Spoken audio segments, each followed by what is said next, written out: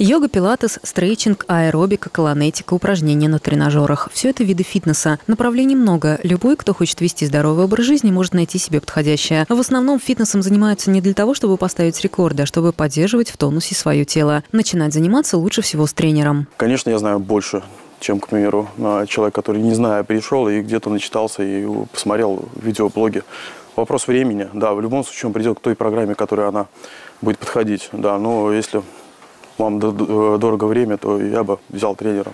Главное в занятиях фитнесом – это желание. В любом случае, начинать новички будут с маленьких нагрузок, постепенно их увеличивая. Внимательный тренер всегда обращает внимание на ощущения спортсмена, его прогресс. И возраст в этом деле не помеха. У меня есть и девчонки, которым и 72, и 76 лет приходят. Да, и, в принципе, очень хорошо тренируются.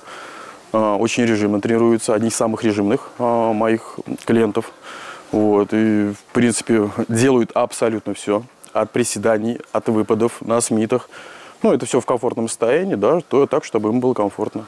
Это не так много в тонаже получается, это 2-3 тренировки, но это постоянно, и там час-час 20 времени в день, я, в принципе, считаю, что может выделить себе каждый. Занятия фитнесом заряжают энергией, стабилизируют работу нервной системы, могут предотвратить депрессию, помогают управлять эмоциями, улучшают сон. Всего полтора часа в день, и вы в прекрасной форме и отличном настроении.